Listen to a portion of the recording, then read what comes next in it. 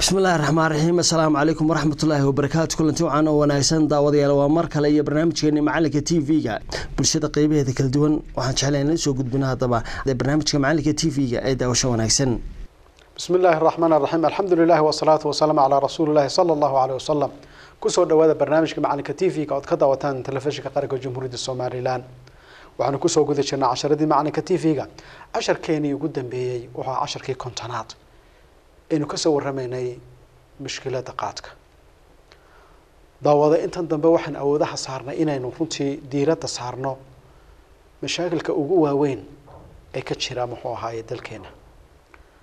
Waxaynu ka soo hadalnay mushkiladda abaaraha iyo sida loo xalinayo waxaynu ka soo hadalnay mushkiladda qabyaaladda iyo sida loo xalinayo waxaynu ka soo hadalnay mushkiladda qaadka iyo sida loo xalinayo maanta daawada waxaynu ka sheekeynaynaa mushkiladda tahriibka ama aafada tahriibka waana casharkii koob iyo kontonaad.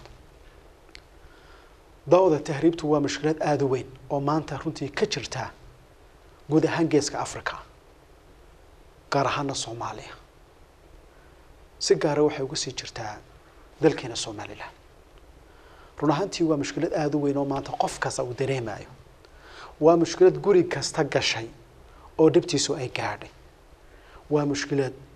Dadka waxhaysta iyo dadka waxhaysanba ay ka qayb qaateen. Waa mushkilad saameyn weyn inagu samaysay. Waa mushkilad dhalinyarteeni runtii kacaanka ahaa ee soo baxay. Kuwii waxbartay iyo kuwa aan waxbaranba run ahaantii ka qayb qaadatay inay halligto waa mushkilad runtii aada weyn oo khatar ku keeni karta mustaqbalka dhalinyarteena waa mushkilad u baahan in runtii la waajaho oo xal dhab ah oo runtii qoto dheer oo la analyse gareeyey oo aada runtii ugu habboon xaaladaasi ayaa loo baahanya in la keeno. Daawada haddaba mushkilada sida loo xalinayaa waxay u baahan tahay inaan runtii dhinacyo badan aynu ka eegno. Waxay runtii u baahan tahay inaynu keeno xal xulul aada u muhiim ah oo runtii keensan karaa arrintan inay wax ka qabtaan haddaba inagoo runtii awoodda saarayna casharkeenan maanta xalka awoodda saarayna.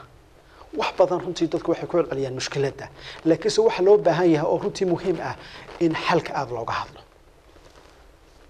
Dawada qodobka koowaad ee haddii aynu u baahannahay mushkiladda inaynu ka hortagno inaynu joojino inaynu yeerayno waxaynu u baahannahay inaynu qaadnaa tallaabada koowaad waxa weeyaan waa inaynu xog dhaba ka helnaa xaaladda tahriibka dhalinyarteena arrintaa markaynu xogta ka sheekeynayno waxa la idhaahdaa marka go'aan la qaadanayo sideedaba marka la rabo go'aan inaad u qaadato si cilmiyeysan sheega ugu horey la sameeya waa maxay? Xog inaad hesho. Haddaba dawada xog si aynu hesho helno maxaynu u baahannahay research waa in la sameeya xukuumaddu waa inay research samaysaa baaritaan cilmiyeysan waa inay samaysaa oo ay ku samaysaa mushkiladda tahriibka tahriibkan iyagu wuxuu yahay iyo runtii qaabku uga socdo dalka iyo sida loo tahriibayo iyo inta dhalinyar ee maanta ku dhimatay ku nafbaxday inta qof ee runtii muxuu ahaay awlaadoodii caruurtoodii ku waayay waa in runtii arrinta la baadhaa oo runtii research lagu sameeya. Dawada researchku waxaa aada ugu muhiim noqonayaa mushkiladda xalka dhabtaa looma helo ilaa research lagu sameeyo. Researchkaasi waa qodobka koowaad. Haddaba researchka marka la sameynayo waxaa jira qodobo la raba inay ka hoos baxaan. Qodobo la raba in researchkaasi markuu dhammaystirmo ay kan runtii hoos baxaan baa ayaa loo baahan yahay in la ogaado. Qodobka koowaad la raba in la ogaada waxa marka researchka la sameeyo ay xukuumaddu arrintaa ku samayso. Waa inuu ka soo baxda waxa loo yaqaano policy document waa inay ka soo baxda. Siyaasadi waa inay ka soo baxdaa xukuumaddu waa inay siyaasad ka samaysaa. Siyaasad waa inay la timaadaa ay ku waajahayso kaga hortagayso tahriibka daawada siyaasaddu waa muhiim. Bale waxaa la idhaahdaa dowladuhu markay mashaakil xalinayaan. Ama mashaakilkaasi markaa ha jiraan ama mustaqbalka ha ku soo socdaane waxay ku xaliyaan inay siyaasad la imaadaan siyaasaddu waxay tilmaamaysaa inteebay dowladdu serious ka tahay mushkiladda inay xaliso haddii aad aragtay dowladdu arrintaa inay siyaasad ka leedahay waxay tilmaamaysaa dowladdu inay runtii dhab ay ka tahay inay arrintaa xalay u hesho. Laakiinse haddii aan siyaasad la sameynin maxaa imanaya ku dhufoo ka dhaqaaq baa imanaysa. Kolba mushkiladda in yar in wax laga qabto. Kolba in runtii muxuu ahaay la isa siiyo kinin yar oo jebina imanaysa. Taasina xal ma noqoto. Markaa si mushkiladan gunta looga xaliyo maxaa loo baahanayaa? Siyaasad xukuumadda inay la timaado. Siyaasaddaasoo la faguraysa mushkiladan iyo mushkiladan waxay tahay. Iyo optionska lagu xalinayo tilmaamaya waxaa haddaba siyaasadda iyadana ka hoos baxaya oo runtii loo baahanayaa xeerka la dagaalanka tahriibka dawada xeerka waa qodob waa xeer aada u muhiim ah. Mashaakilka maanta dhacay waxaa ka mid ah. Dadkii tahriibka lagu qabqabtay ama dadkii magafayaasha ay arrintaa ka qayb qaatay ma jiro xeer ciqaabeed lagu qaadaa ma jiro. Xeer ciqaabeedkiina bainal courtkeena maanta lagu dhaqmaa. Waxaa la sameeyey in nineteen sixty two-gii baa la sameeyey oo laga soo qaaday qaanuunkii talyaaniga in nineteen thirty la sameeyey waa qaanuun runtii dhacay weeyaan waqtigiisu wuxuu dhacay qodobo badan oo maanta casriga oo soo baxay kama hadlayo. Cyber runtii looga kama hadlayo. Qawaanku kama hadlayo dembiyada internetka ka dhex dhaca kama hadlayo. Kama hadlayo dembiyada ka dhaca badaha ka dhex dhacay burcabada kama hadlayo. Kama hadlayo dembiyada tahriibka kama hadlayo. Marka mushkiladdu waxay noqotay dadkii magafayaasha ahaa iyo dadkii waxaan sameeyey iyo dadkii lagu soo qabqabtay xeerarka ciqaabeeda la saari lahaaba diyaar ma aha maxay markaa arrintu tilmaamaysaa? Waxaa loo baahaya xeerka tahriibka la dagaalankiisa in la sameeyo. Xeerkaas ayaa qeexaya. Tahriibku waxa uu yahay. Iyo dadkan ka qayb qaadanaya tahriibka sida loo ciqaabayo sida loo soo qabqabanayo maxkamadaha awoodda u leh. Dadkan dhiirigelinaya tahriibka in la tahriibo waxa laga yeelayo. Waxyaalahaas oo dhan waxaa si fiican u faahfaahinaya xeerka la dagaalanka tahriibka. Taasoo kaliya daawada maahee tahriibka laftigiisu inagu ma tahriibna waa laynoo soo tahriibaa. Dad badan oo dalkan u soo tahriibaa jira oo shaqooyin ka haysta oo sharci darra ku jooga kuwa laftigooda ayuu xeerku ka hadlayaa sida loola dhaqmaayo iyo sida arrimahooda loo xalinayo marka xeerkaasi waa xeerka tilmaamaya inay xukuumaddu serious ka tahay inay wax ka qabato muxuu ahaaye arrinta mushkiladda tahriibka. Dawada qodobkaasi waa kii koowaad. Oo tallaabadii koowaad ee tilmaamaysay tahriibka sidaynu uga hortagayno oo waxay tilmaamaysaa research inta lagu sameeyo tahriibka. Ilaa hadda research lagu sameeyo runtii aad ba u yaryihin researchada baaritaanadan ku ogaana waxaa ka mid ah research ay sameeyeen hay'ada gaari mooyaane. Research dhaba oo jaamacaadkeenu ay sameeyeen. Dowladdeenu ay samaysay. Haba yaraatee waxaa laga yaaba inaanad arag.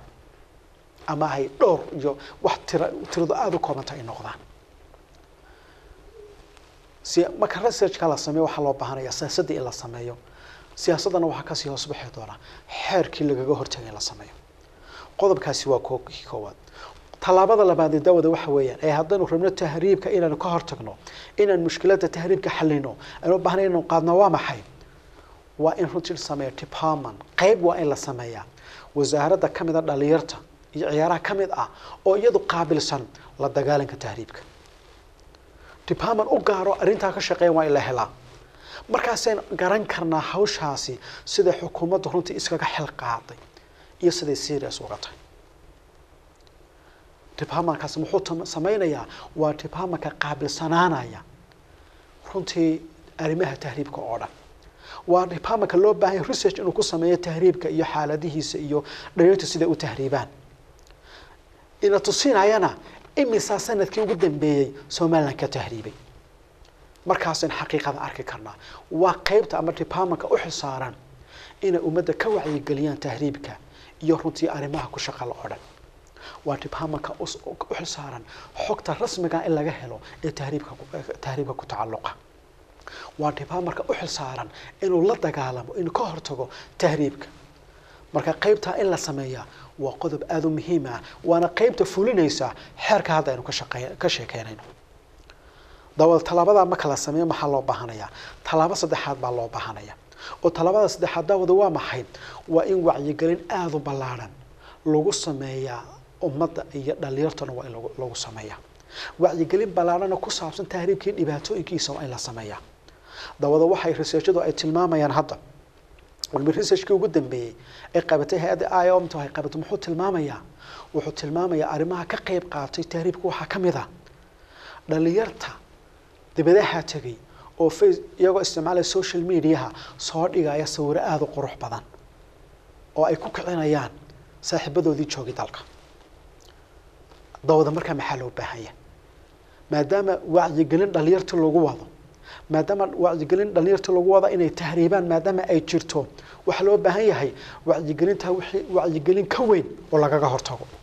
Waxaa loo baahan wacyigelin aada u ballaarhan iyadoo la isticmaalayo dhammaan miidiyaha dalka saxaafadda iyo wax alla wixii miidiya iyadoo la isticmaalayo ayaa waxaa loo baahan yahay wacyigelin adag in laga sameeyo tahriibka iyo dhibaatadiisa. Weliba daawada waxaa loo baahan yahay laba meelood awoodda in la saaro. Waxaa loo baahanayaa awoodda in la saaro dadka tahriiba mashaakilka ay runtii ay la kulmaan. Dariiqa inta ay socdaan mashaakilka yaalla waa in la soo saaraa. Inta badan waxaa dhacda qofku markuu tahriibo oo dalalka uu tago kama soo sheekeeyo dhibaatada soo qabsatay muxuu ka sheekeeyaa un meesha hadda uu marayo iyo xaaladda ku sugaya. Markaasi dhalinyar badan ay ku hogmaan oo yimaadaan inuu si yaro caadi iskaga tegay meesha. Laakiinse wuxuu qof kastaa kuu sheegaya meelaha tegay oo tahriib ku tegay dhibaato baaxadeedu aada u sarreyso aada weyn inuu soo maray. Waxaa loo baahanya marka wacyigelinta la sameynayo in dhibaatada awooda focuska la saaro oo ummadda loo soo bandhigo dhibaatada qabsatay dadkii tahriibka sameeyey iyo xaaladahay ku sugnaayeen qodob kalena daawada loo baahanaya oo wacyigelintu la rabo awoodda inay saarto. Waa maxay? Dadkani halkaa marka ay tegeen xaaladay bay ku jiraan. Dad badan baa maanta waxay soo sheegayaan. Waxay filanayeen wax ka duwan ay arkeen. Expectationkoodii hor markii hore waxay filanayeen. Waxay lahaayeen wax la yaab laan arki doonaa. Laakiinse meeshii markay tegeen wax kaley la kulmeen. Duruufo adag bay la kulmeen. Dhibaatooyin bay la kulmeen. Waxyaalo badan oo nolosha runtii cidhiir kaga dhigtay ayay la kulmeen. Marka maxaa loo baahan yahay taa laftigeeda awoodda in la saaro. Dadka halkaa tegay xaaladda ay ku sugan yihiin in iyagana awoodda la saaro oo la tilmaamo in runtii meeshaasi sida la moodaayo ama wax sida dhalinyarta loogu sharxaayo aanay ahayn. Taasina waa qodob aada u muhiima.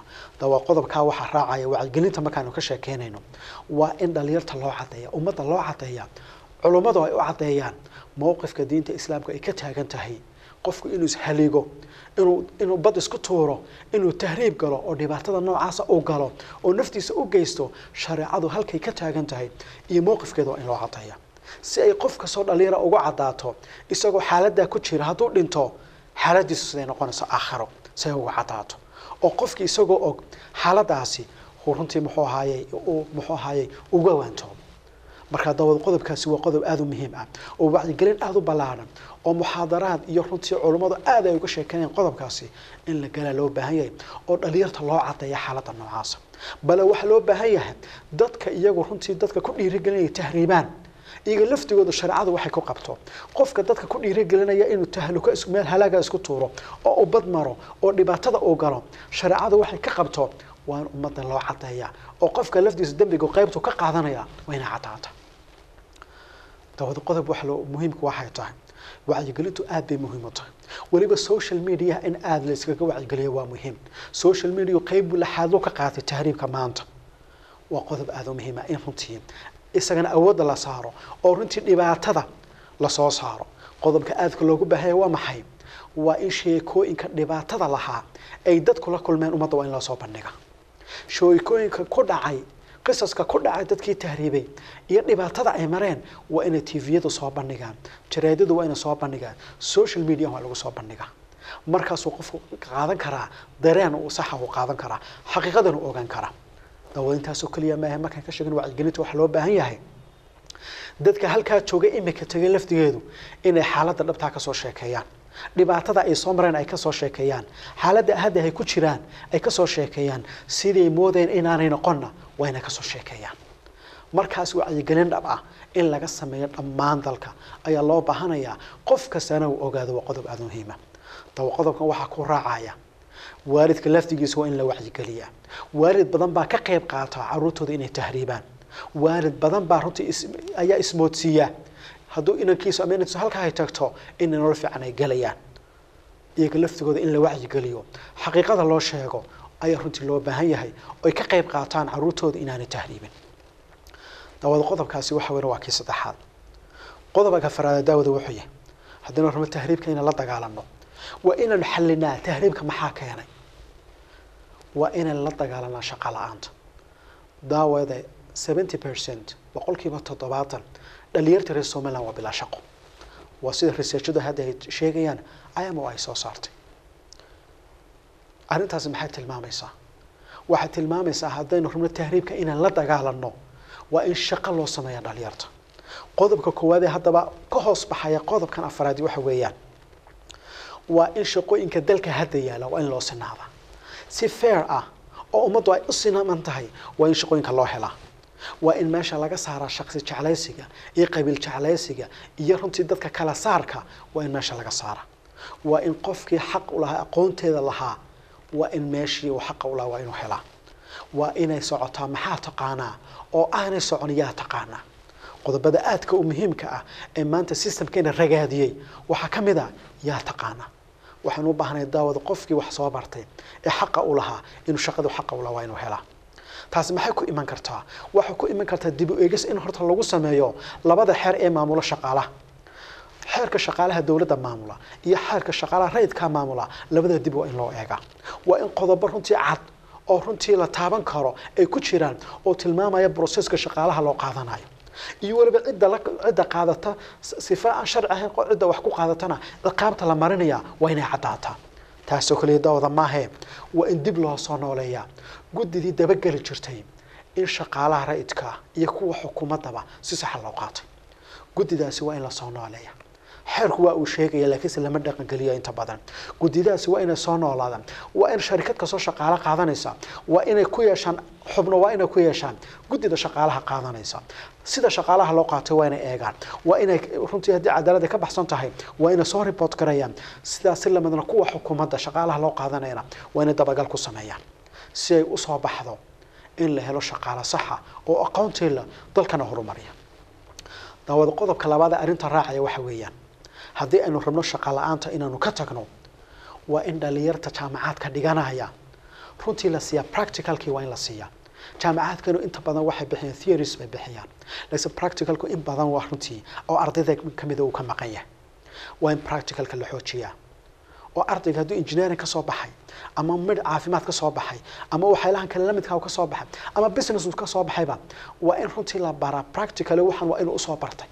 Waa qodob aada u muhiim ah daawada taasoo kale maaha waxaa ku raacaya waa in runtii dhalinyarta loo ogolaadaa in internship ay ku sameeyaan dhammaan meelaha laga shaqeeyo oo dhan. Hadday tahay hadday tahay sharikaadka privateka iyo hadday xukuumadda tahayba. Waa qodob qodobkan waa aada u muhiim yahay. Ardaygu jaamacadda intaanu dhammaynin ama markuu dhammeeyo lixda bilood oo ugu horreeya waa in loo ogolaada ardaygaasi inuu ku sameeyo meel shaqa shaqa ay ka jirto waa inuu ku sameeya company ama meel dowladeed waa inuu ku sameeya internship waa inuu ku sameeya waa in shaqadii la baraa waa in la baraa ganacsigu siduu u shaqeynaya waa inuu indhihiisa ku arkaa. Waa inuu wax kasta oo uu soo bartay iyadoo practical indhihiisa waa ku arkaa oo uu ku soo shaqeeya oo khibradda uu soo qaataa daawada arrintaasi ma sahlana. Waana jiraan jaamacado badan oo arrintaasi ardaydooda ku xidha inay waxaasoo internship inay soo sameeyaan. Laakiin mushkilad waxay ka taagan tahay kambaniyadii iyo meelihii loo shaqo tagayay ayaan ogolayn inay bixiyaan arrintaasi. Arrintaasi waxaa ku iman kartaa. Waa in policy xukuumadeed la helaa oo sharikadaha iyo goobaha ay xukuumaddu iyadu leedahayba qasab kaga dhigaya inay dhalinyarta jaamacadka ka soo qalin jebiyey inay siiyaan tababaro iyo intershibis inay siiyaan. Arrintaasi waxay u baahan tahay policy xukuumadeed in la helo. Dawada qodobkan waxaa ku raacaya oo qodobkii waxaan ku jirnaa shaqa shaqada sida loo samayn lahaaye dhalinyartana loo shaqo gelin lahaaye waa in runtii la isku dayaa shaqooyinka ay ka shaqeeyaan ajaanibtu kuwii ay suurtagal noqonayso inay qabtaan muwaadiniintu waa in la sameeyaa muwaadiniinta xaqikooda in la siiyo. Weliba qodobkan si gaara wuxuu tilmaamayaa hay'adaha caalamiga ee dalkeena jooga. Intaasoo hay'adooda caalamiga dalka jooga.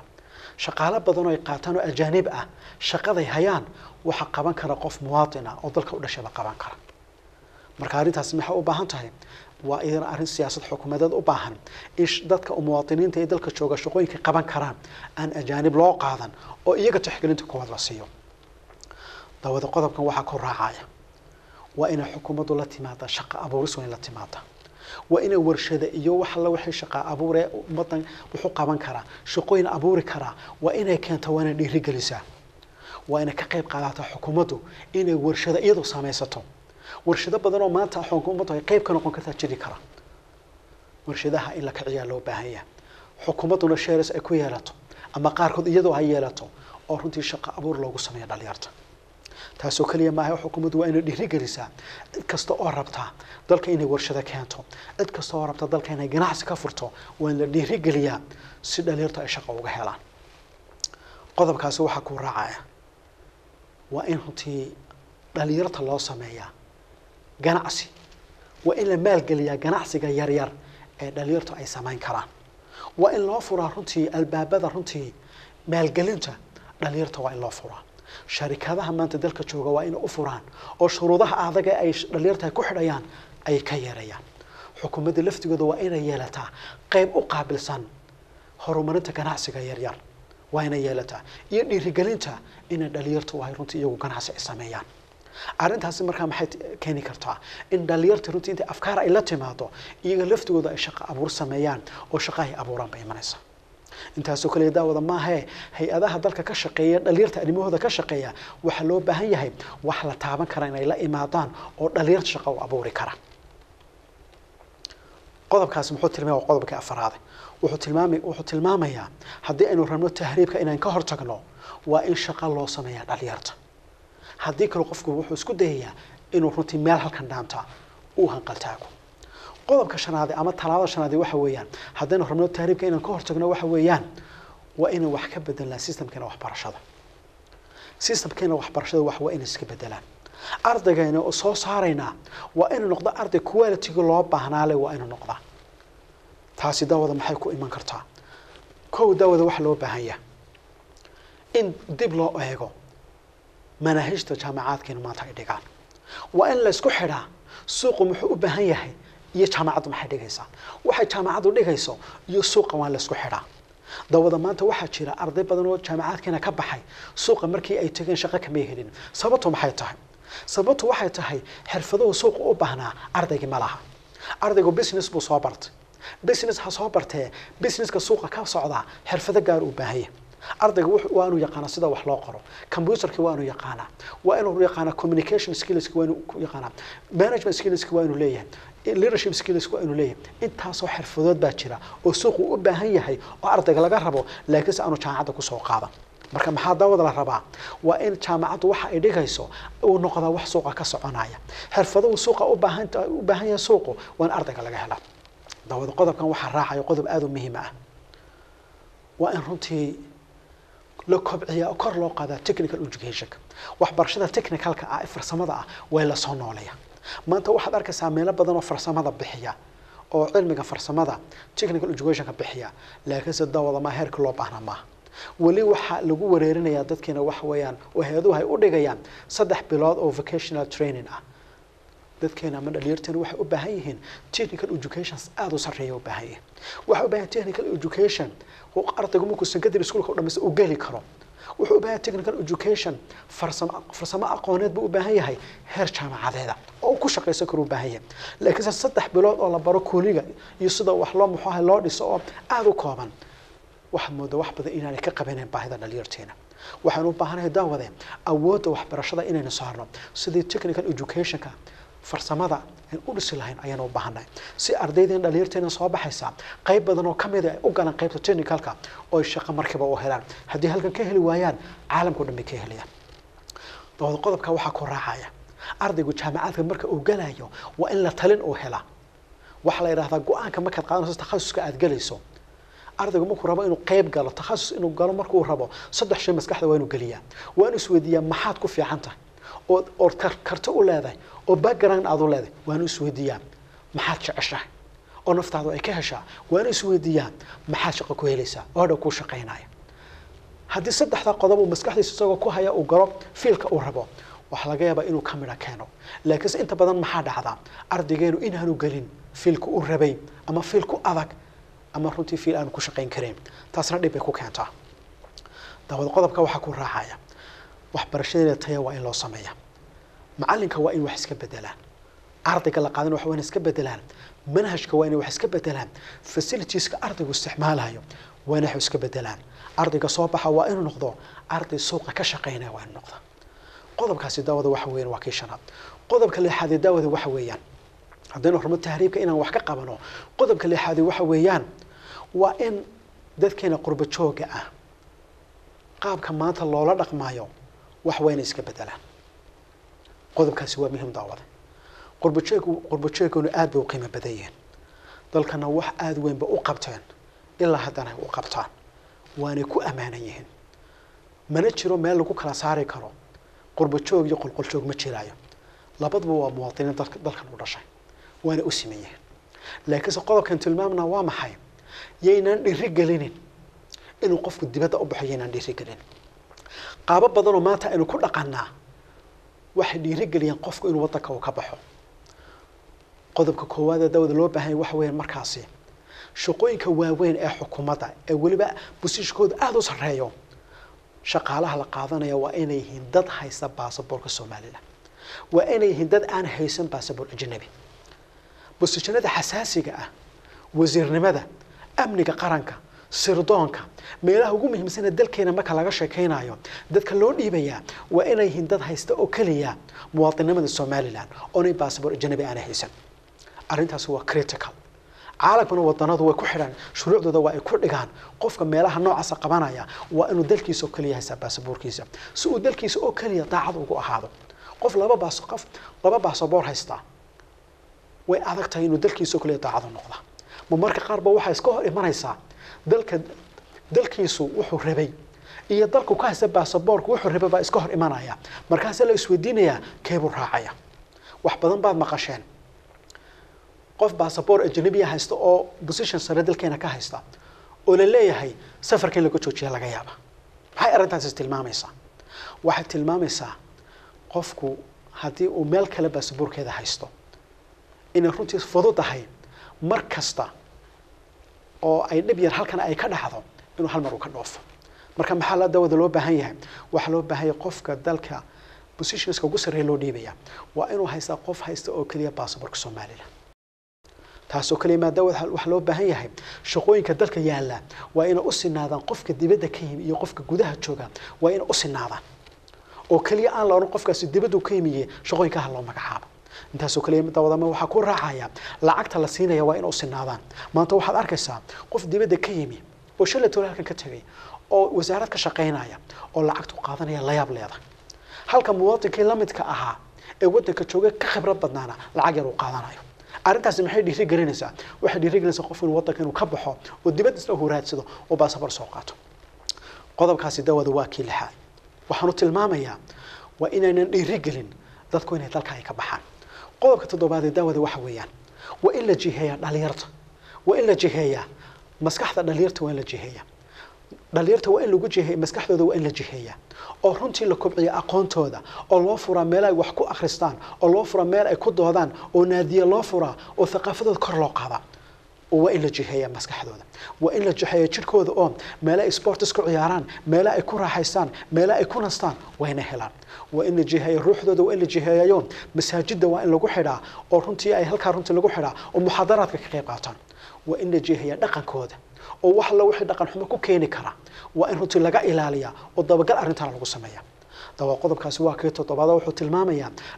waa in la jiheeyaa haddii aan la jihayn dhalinyarta haddaan maskaxdooda la jihaynin haddii jidhkooda aan la jihaynin haddii aan ruuxdooda la jihaynin haddii dhaqankooda aan la jihaynin way kugu soo jihaysanayaan kadibna wax kale ayay runtii la iman karaan qodobka sideed daawada waxa uu yahay waa in lala dagaalaamo magafayaasha magafayaasha keensaday runtii inay dhaliirta dhoofiyaan iyagoon hadda lacag ka qaadayno markay halkaa tagaanuu lacagta ka rabaa dagaal adag waa in lala galaa xukuumaddu dagaal adag waa in la galaa waa in loo sameeya boolis u gaara oo nimankaasi la dagaalama waa in sirdoon sirdoon gaara ay yeeshaan oo raadiya nimankaa sirtooda iyo waxay qabtaan iyo siday yihiin waa in la sameeyaa waa in lagu dabaqaa xeerka la dagaalanka tahriibka dhammaan waa in lagu dabaqaa.